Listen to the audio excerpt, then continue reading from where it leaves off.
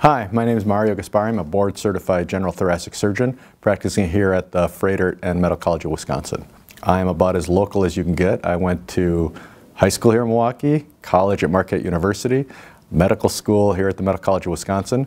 I briefly left to go to Detroit for general surgery training, but then returned to do my thoracic surgery fellowship here at the Medical College of Wisconsin, and then continued on as faculty. My main interest is general thoracic surgery and all aspects of general thoracic surgery, including malignancies, uh, which comprise of lung cancer, esophageal cancer, mediastinal tumors, but also benign disease such as hyperhidrosis, paraesophageal hernias, rib fractures, and chest wall pain syndromes such as slipping rib, um, and just about everything in the chest um, related to general thoracic surgery.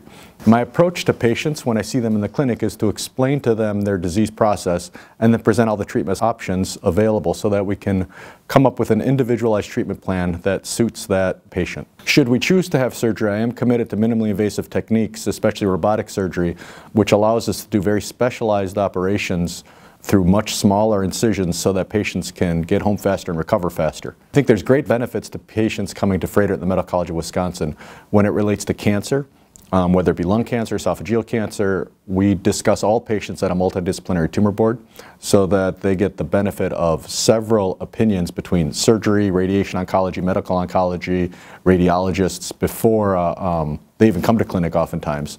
I think there's great value um, to coming to see us with benign problems as well, as I think problems such as hyperhidrosis, rib fractures, chest wall pain syndromes are things that are underappreciated on other campuses, and we all have special interests in these disease processes.